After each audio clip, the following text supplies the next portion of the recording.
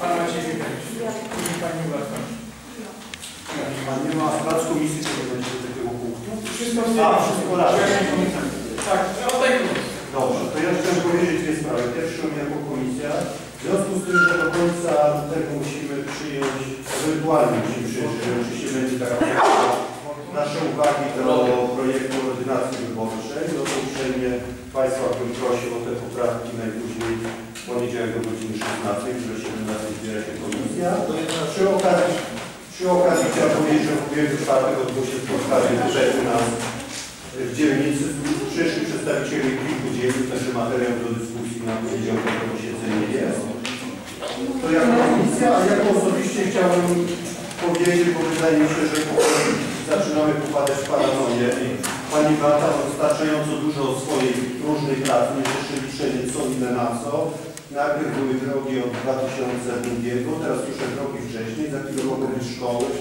Wydaje mi się, że powinniśmy tutaj pomyśleć o tym, że ktoś ma swoje obowiązki. To po pierwsze, a po drugie, Pan Bogdan powiedział, że cicho o tej sprawie było i faktycznie jakoś nie przypominam sobie, jeżeli y, się mylę, no to bardzo proszę o wyprowadzenie złego, ale wydaje mi się, że powinniśmy podziękować Pani Beacie za ten czas, który poświęciła, żeby to wyliczenie.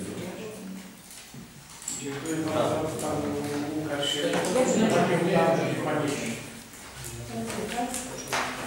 nie zostanę, bo będę musiała coś pokazać za chwilę.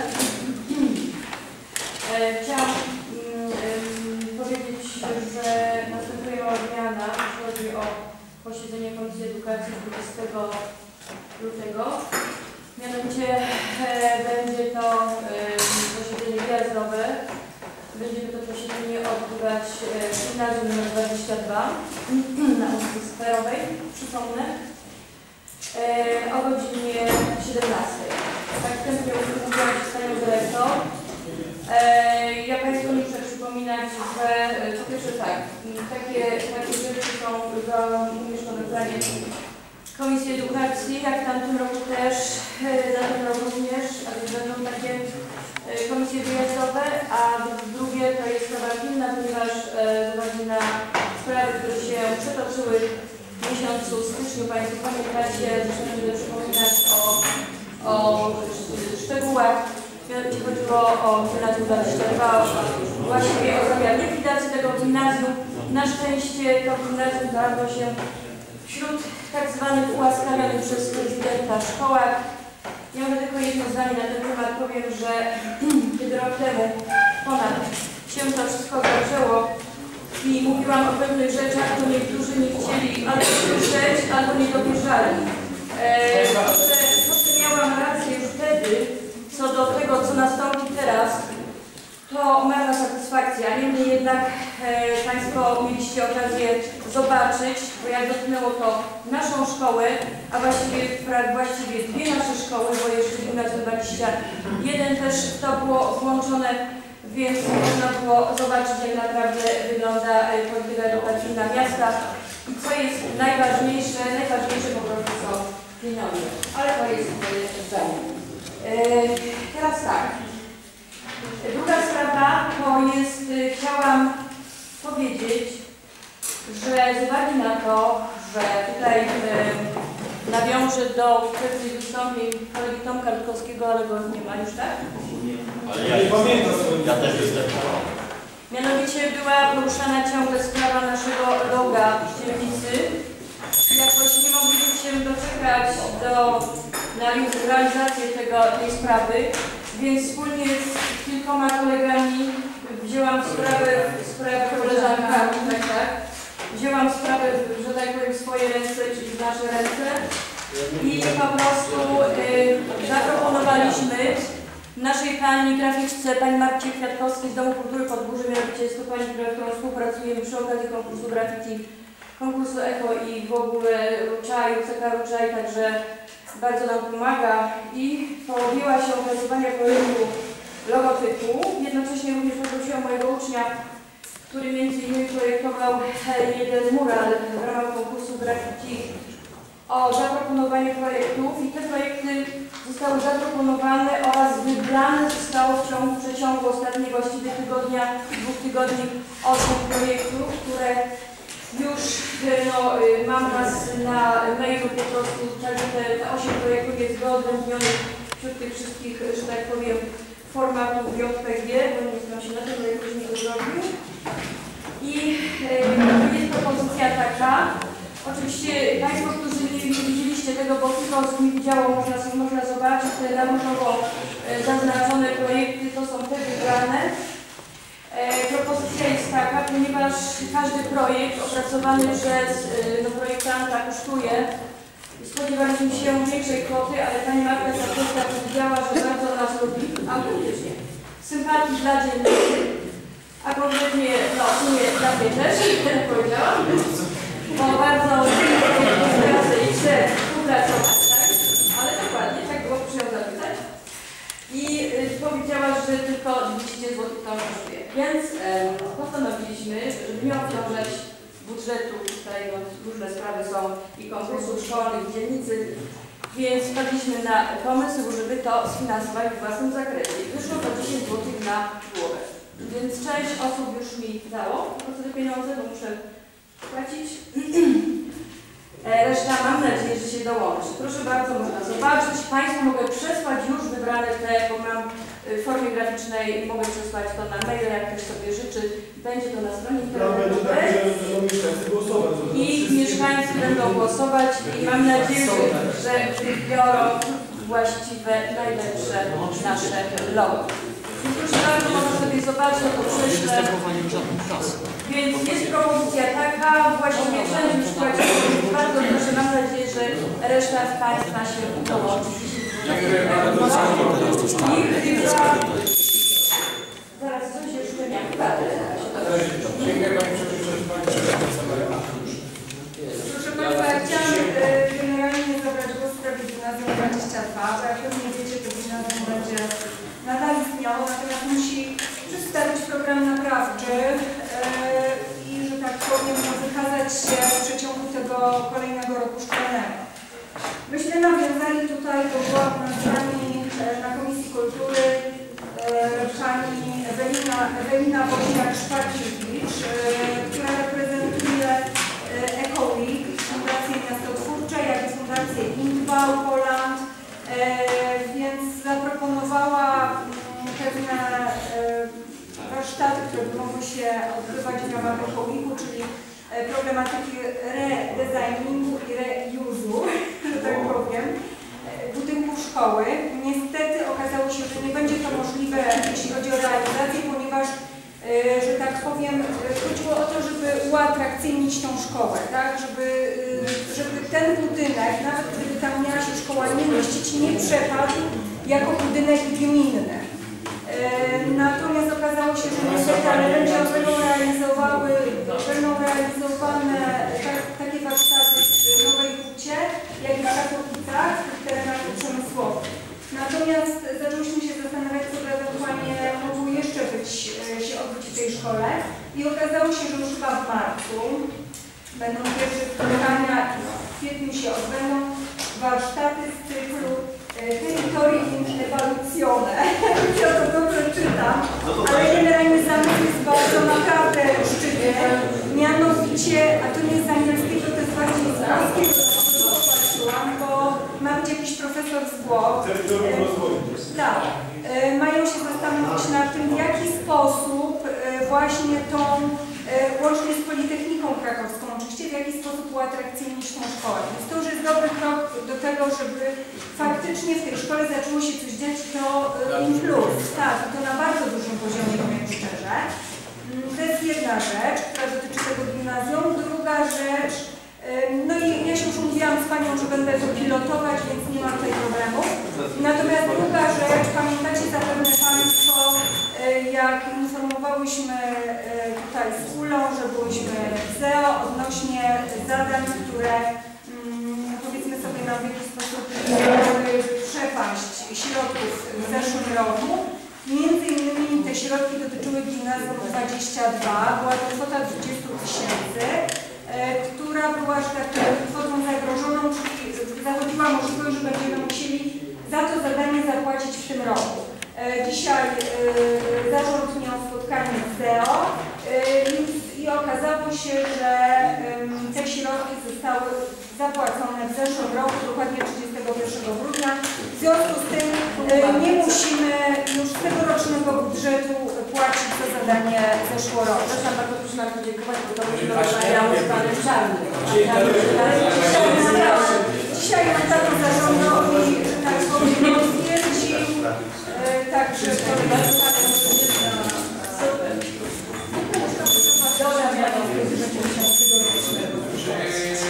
Krzysztof Migda, Dominik, Ja, przewodniczący, ja... Pani Maria i Pan Piotr.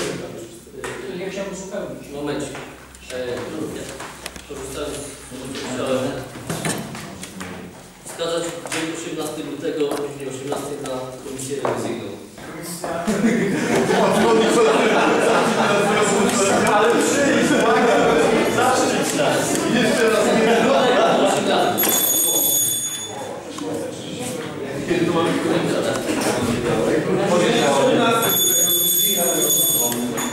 Eee, Dominik i później Pani Maria i Piotr. Dziękuję. Ja pragnę tylko członkom Komisji Sportu i Terenów Zielonych przypomnieć, że w komisji w najbliższy poniedziałek 11 lutego o 18.30 zapraszam. Dziękuję serdecznie Pani Maria, Pan Piotr Szewczyki.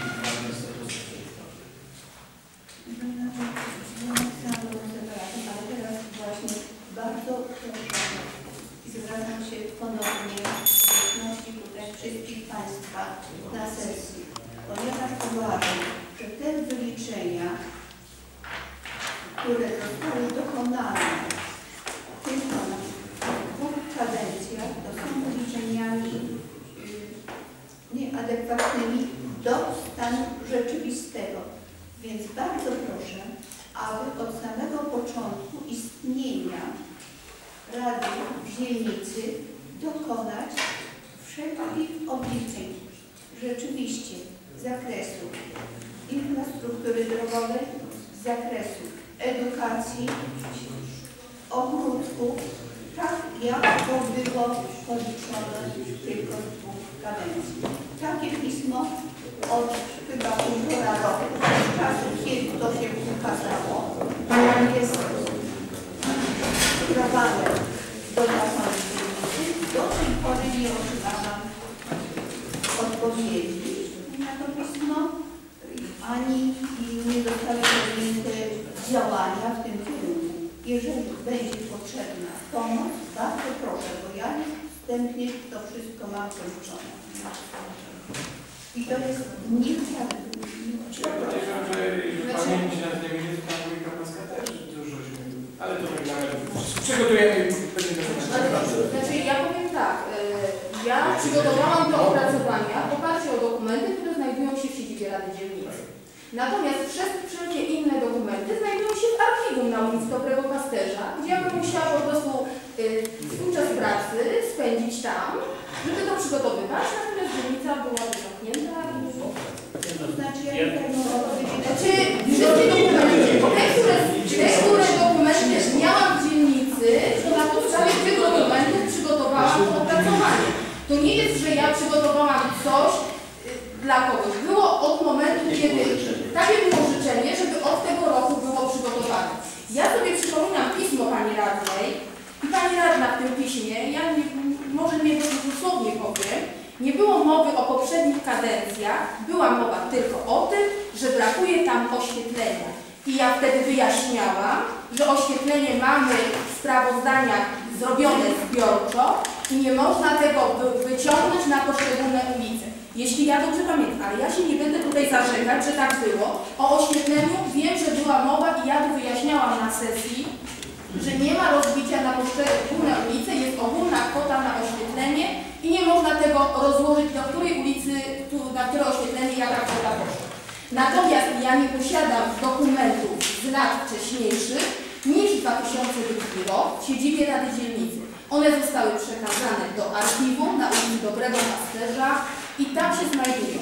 Więc ja bym musiała tam jeździć, wyciągać, wiedzieć, które to są dokumenty, ponieważ y, ja wtedy nie pracowałam w dzielnicy, więc to tym bardziej byłoby dla mnie trudne, ponieważ no, nie wiem jak to było tam przekazane, więc ja tylko wyjaśniam, żeby było wiadomo.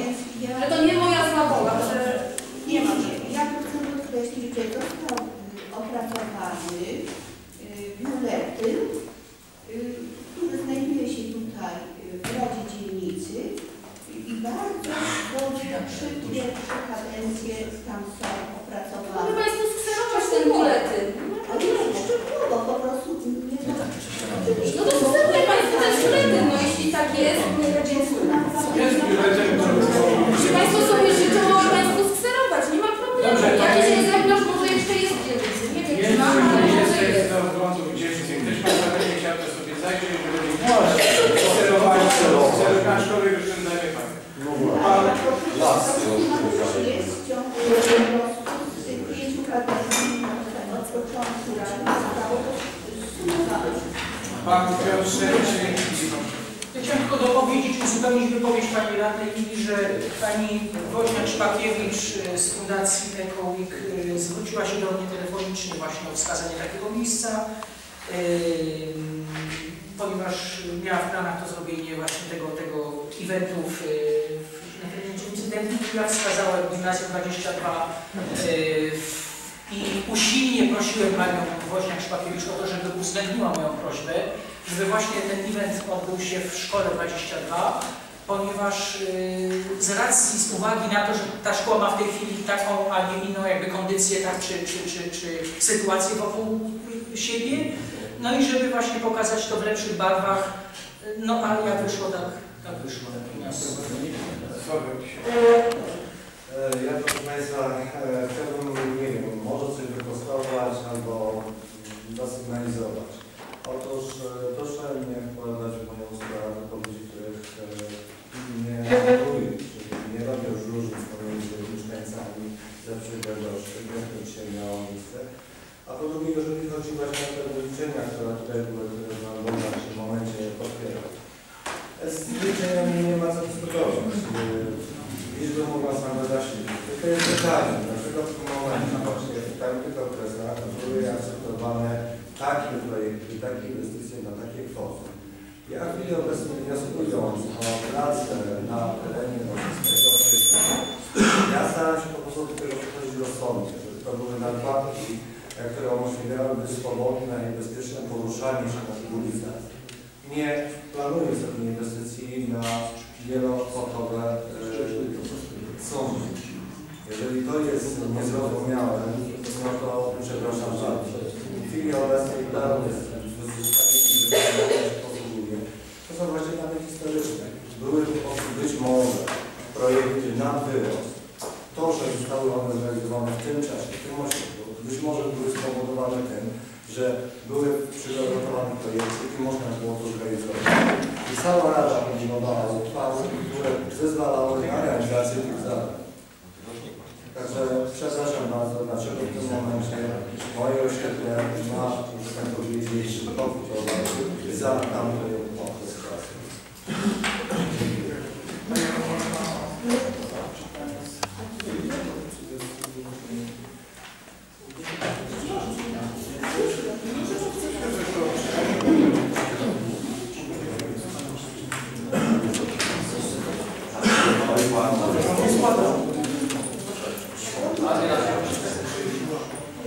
Właściwie to w programie nie, to znaczy Dobrze, bo nie, zgłaszałeś, że chcesz odczytać. prawda? No bo wiem, że zgłaszam, no a jeżeli się zgłasza, to to dowiecie, a mówiła Pani, że Pani zgłasza po separacji. Dobrze, dobrze, można odknąć się. Czy ktoś z Państwa chciałby się zapytać? Pan Mam przedstawić tylko komunikat dla Obu Krzysztofu o posiedzeniu komisji w poniedziałek o 18. Jeden zawsze przychodzi, drugiego nie widać.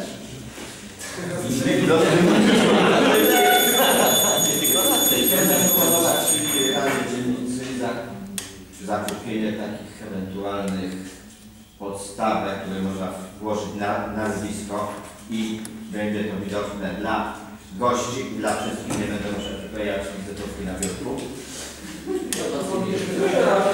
Szefino bardzo, bardzo dobry pomysł. I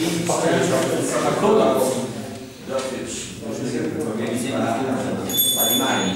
nie widzę powodu, dlaczego Pani Maria się na nas wszystkich, skoro układ głosów wyraźnie powiedział, jakie są interesy. Skoro za, głos- za uchwałami, za, za uchwałą, za poprawką głosowało 14 osób, to przy, przypominam, a przeciw było tylko dwie.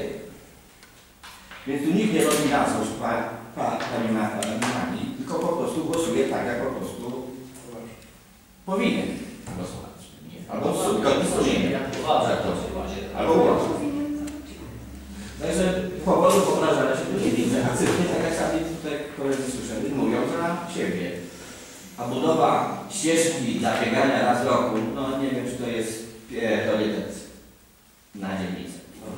Bo tam, gdzie biegnie raz w roku jest tylko 600 osób, to tam wytyczyć taką trasę, gdzie droga jest lepsza.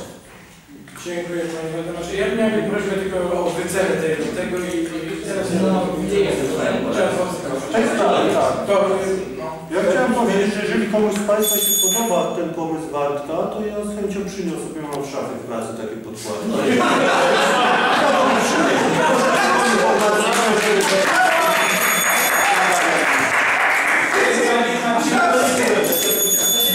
Panie Macieju, już nie można to 30, bo